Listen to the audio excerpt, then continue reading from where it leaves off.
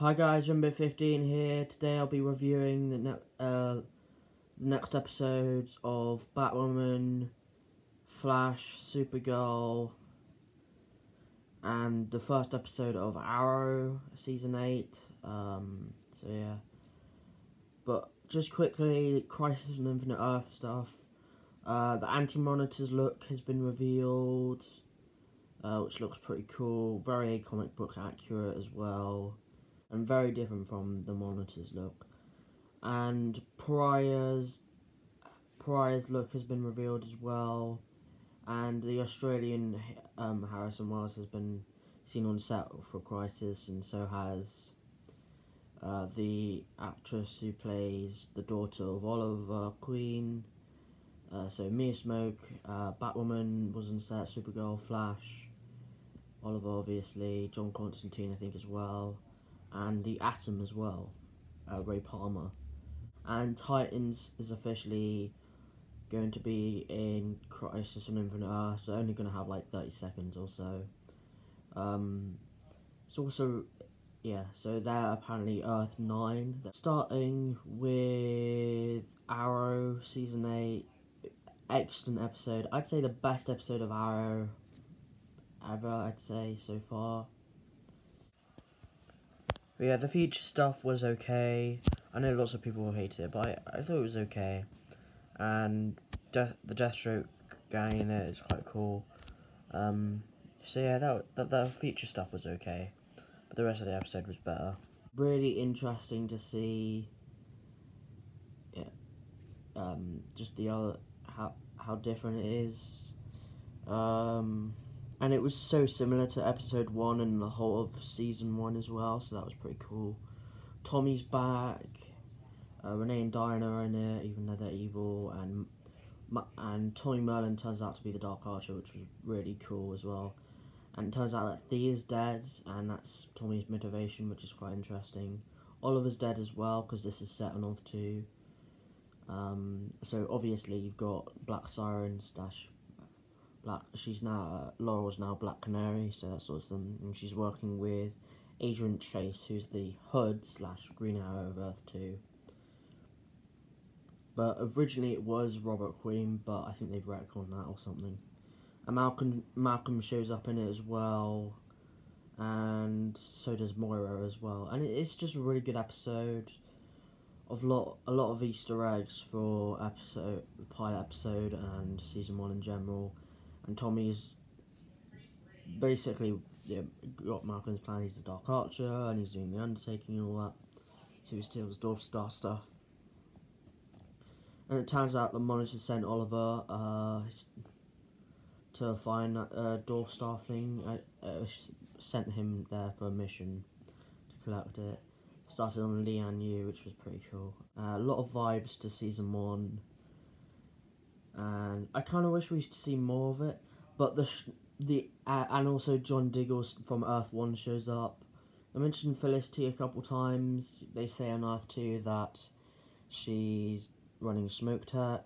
Yeah, and but the shock at the end where Earth Two gets completely destroyed by antimatter. Antimatter wave. That's just, what a shock. And so the whole Earth Two now has been destroyed. So that includes Harry from Earth 2, Jesse Quick is now gone as well. Um, Gorilla City, um, the Moira, the Tommy, the Malcolm from Earth 2 as well. Adrian Chase. Also, I really like the new suits as well this season. This season, the suits look cool. Also, apparently, this will be the only episode with with uh, Team Arrow going to the multiverse. The rest of the episodes are set on Earth One and Thea is meant to be in a few of them. So episode 3 is going to be set in present day, and Thea's meant to be in a couple other episodes as well. To the Flash, Barry's plan is to just time travel, because that's pretty much what he does now. Um, so he tries tra traveling, time traveling to the future to to see, uh, to go to the day after he's disappeared, just to see what's happened. And then he gets injured with antimatter.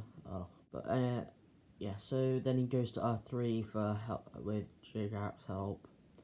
And it turns out that um, Garrick's girlfriend on Earth 2 on Earth 3 is is well looks like Barry's mum, so that was interesting. Uh, Jay explains that there is a crisis coming or something like that. That that antimatter is coming. He sees multiple, yeah, multiple events, and it does look really cool because we get to see everyone uh, disappearing, and we also get to see him died just like in the Crisis comics, and it looks exactly like as it does in the comics. Probably get a better version of it in there. Most of the episode Barry's out of it. The rest of the episode wasn't so interesting. The girl in it wasn't. It wasn't an interesting character. The story wasn't that intriguing. Frost is just so annoying, really. It's quite annoying. The blood work stuff wasn't that intriguing, and it was barely in it. Barely in it. I know it was just really interesting to see Jay Garrick, Joan, Gar- Joan Garrick, uh, interacting with Barry and Iris. A good setup for Crisis. The rest of the episode wasn't so intriguing.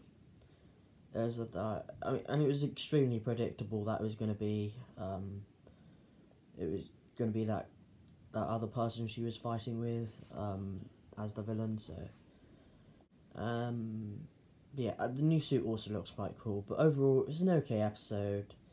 Good setup for Crisis. Good to see Jay out back again. Uh, he might. I think he's in Crisis on Infinite Earths. Uh, either that or, he'll be playing his Earth 90 Flash. I'm pretty sure he's going to be playing Jay Garrick though, so he'll be back for Crisis. But overall, it's an okay episode. But yeah, also now the girl uh, has joined um, Iris's newspaper team or whatever. So, but anyway, that's about it really. Moving on into Supergirl. Well, let's. It was better than last. It was better than last time. Oh yeah, sorry. Arrow rating. Arrow rating. Ten out of ten for Arrow. Episode one. Flash this week, I'd say was seven point five out of ten for this week, and then Supergirl I mean, the Martian Manhunter stuff was quite good, um, and the whole going into his brain and his memories being tampered with, that was quite cool. Um, the Lena Luthor stuff was absolute garbage, that was really boring.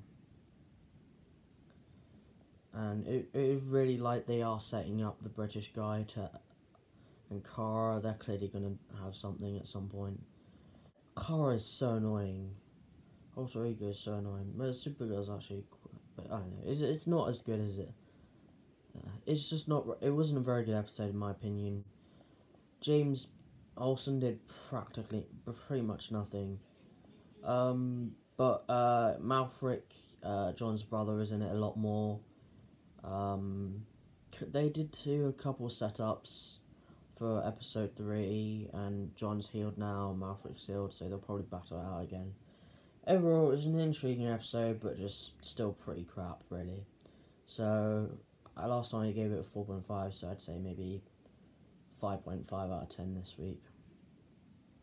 And last but not least is Batwoman, which I'd say they crammed so much into this. Like, because they had already revealed that Alice was Beth, and now they've released that to the public now, I'm pretty sure. But it was I'd actually say it was a great episode of Batwoman. I'd say episode one was slightly better. Uh, what did I give episode one? That was seven point five, didn't I? Yeah, I'd say this one was still pretty good. The suit looks a lot better this week. So it seems like they altered altered it. Um, yeah, I don't know what to say. I mean, the characters are quite good. Uh, there's less awkward moments in it, which was quite good, but a lot of betrayal and the flashbacks were absolutely terrible. I don't like the flashbacks at all. Um, but their motivations and things was quite good. It was a pretty good episode. Um, but hopefully she'll get her proper suit and hair and everything soon. Uh, it was a, it was a pretty solid episode though. Um, and now everyone knows that.